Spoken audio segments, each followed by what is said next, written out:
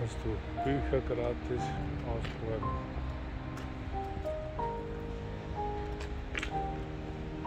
Das eine alte Telefonzelle, ne?